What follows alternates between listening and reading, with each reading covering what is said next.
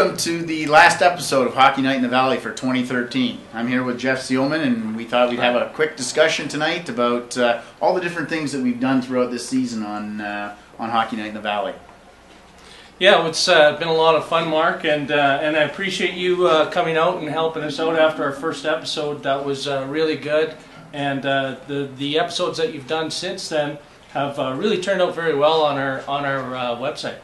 Yeah, it's been a lot of fun. Uh, Jeff, why don't you tell us a little bit about how the uh, Hockey Night in the Valley program got started? Well, we have a Pride and Culture Committee, uh, Mark, and uh, we got together and we thought we wanted to do something to bring our community together in Bow Valley. And we thought, how can we do that, be effective, and, and not put it out in a newsletter type thing, as, as we do have a lot of newsletters. So we decided that we'd come up with a show. And um, so uh, with the show, it, it brings awareness to our community. Um, it also outside of our own hockey teams, because we all get involved with our own hockey teams and such. It also brings a lot of awareness to all the programs that are going on in, in Bow Valley as well, because we have a lot of uh, different things that are going on regular, other than regular practices and games, Mark. And uh, all of that brought in together really helps these um, families that are new to Bow Valley and, and, and that have been in Bow Valley for a long time. Um, an, a sense of uh, community and a sense of being together as a Bow Valley family. And I know that we just started out with a brand new program this year called the Mentor Program, and, and you were involved with that in the very beginning because we did the first episode. How, how did that go for you, Mark? Actually, it went really well. Uh, the Mentor Buddy program uh, gave an opportunity for uh, players at the older level to take responsibility and, and be involved in the development of the different players at the different age groups. Uh, so there was a definitely uh, a plus and a benefit to that for uh, for the older players as well as the younger players who now have the ability to have somebody that they look up to and develop their hockey skills even further. So so that's definitely fantastic. Yeah, that was a, it was a really uh, nice going out there and, and doing the videotape of your team uh, mentoring the uh, novice team, and I, I think they had a lot of fun, and, and it was uh, it was exciting day. That, that Well, definitely was. We uh, we also did a uh, hockey night uh, game with them as well one night where we went and our players took responsibility for making sure they were dressed and we tied all their skates and gave them a quick rah rah speech before we went into the uh, before they went out on the ice and and our manager took something in the neighborhood of like 180 pictures of the kids during their game and and uh, the message we received back from the parents on the other team was uh, was phenomenal, and and our boys as well couldn't wait to participate in the next event. Um, so, in that sense, it was definitely a very big positive for our team as well as our buddy team. Well, good that they had fun with it. I, I know that we did a, a big league experience. Uh, you can check out our uh, YouTube channel, uh, Bow Valley, and and you saw that big uh, league experience where our Atom team uh, did that surprise for, for the for the Pee Wee team. I think that was great, where they brought in the nameplates, the jerseys, did the whole water bottle thing, the whole uh, experience, and and did the uh, the crowd uh, during the game. It, w- it looked like a lot of fun. For sure, uh, the video sure was a lot of fun to watch too. Just to see the boys out there on the ice and experiencing that that aspect of what they might not get a chance to do the rest of their lives, uh, where it really becomes a big part of the game and a real big part of their experience.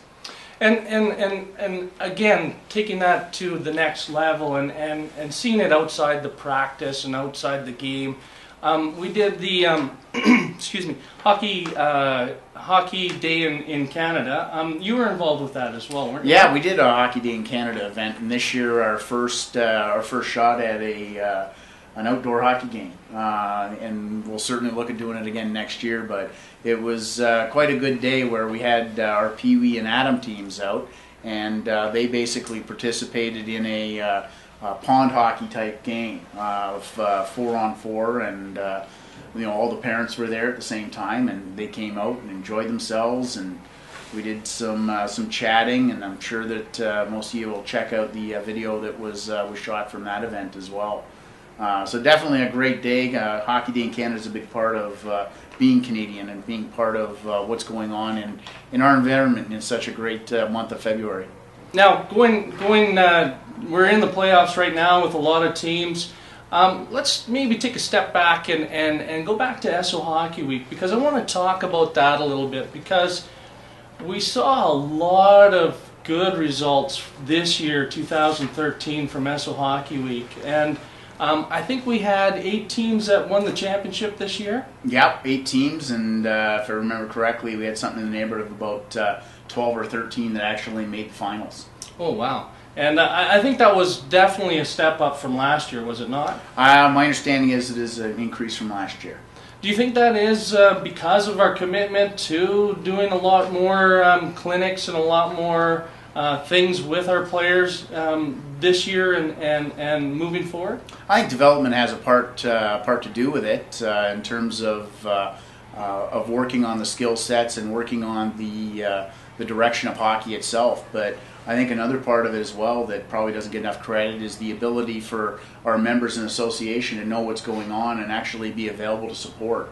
I know the one final that I did attended, the stands were absolutely packed, and anybody will tell you they love playing for a big crowd. So I think that has something to do with it as well. So kudos to those people that are going out and supporting other Bow Valley teams, even though they're not in that game. Yeah, there's something to be said about having a big crowd and having that experience of a lot of people cheering and, and, and, and that follow through and, and feeling that those people in that stands going crazy for you. It's, Oh. it's exciting. It's, Yeah, you get it's- jacked. yeah, it's, it's pretty exciting. I, I know when we did your team, it was really a lot of fun because we had a lot of people and, and the boys really liked it because they knew that they were being involved in, in the show and it really showed on the score sheet because they came out in, in spades. They definitely did. I, I think um, my experience in it has uh, definitely shown me a lot uh, with regards to um, the time and the commitment that these uh, coaches, uh, team managers, uh, even the parents put in to, to hockey and, and any as, association. Um, Bow Valley's done a good job with that, and, and um, having those coaches mentor those young gentlemen, those young kids and, and ladies that, that are in our association, and, and feeling that gelness that between those those kids. It, it's amazing how the first day of the season and, and everybody doesn't really know each other, and then at the end of the season, it's like they're like family and, and, and they protect one another and, and, and stuff out on the ice. It does become more than about uh, more than just about hockey. That's uh, that's for sure, and, and you certainly see it develop along. And it, it tends to hit in around the December area that uh, you start to see that uh, that gel and that true team uh, thing develop. And then you get kids that have uh, continued to play on the same teams with the same players, which is also nice as well. So, yeah, I certainly see the uh, the advantage to that part in what you're talking about. The volunteer part that you're talking about, uh, I mean, I can certainly speak to that. Uh, it is a lot of hours and it is a lot of commitment. Um, and as you guys might be aware, uh, we did a volunteer portion for the gentlemen to take care of the ice outdoors. Uh, something that I've never personally been involved in, but I can certainly see uh, the amount of time, effort, and energy to uh, get up in the middle of the night and actually take care of the rink so that the, the boys and girls have somewhere to go out and skate uh, during the daytime. Yeah, yeah, and I, I think that, that, that commitment that these uh, gentlemen uh, do to our outdoor rink and, and all these other uh, committees that we do have in Bow Valley, um, I would say just go out and, and volunteer and, and learn the experience and, and get to know some of these people. That would be great. So Jeff, why don't you talk a little bit about the Hockey Night in the Valley program and some of the uh, some of the aspects of this year? Well, um, as, as we spoke, uh, Mark, we uh, this is our first year doing the Hockey Night in the Valley program, and um, a lot of trial and tribulation. Uh, we, we we did a lot of uh, uh, different lighting, different spots that we could uh, do the shots, um, and we have about uh, seven episodes uh, on on the on the website. So. Um, we have uh, we've done a couple of different games. We did uh, as we talked. We did the uh, hockey day in Canada. Um, there should be uh, uh, our president's message on there, and also uh, a couple of other items that we have done.